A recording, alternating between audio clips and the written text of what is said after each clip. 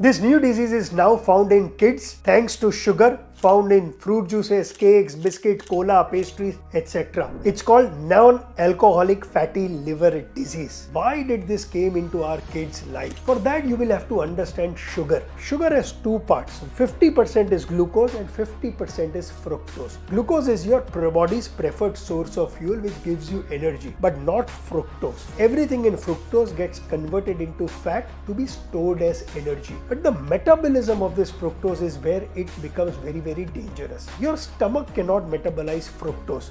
Large part of that metabolism happens in the liver. The liver converts all the fructose into liver fat, which is why you will see a fatty liver in kids. Be careful because sugar is fructose.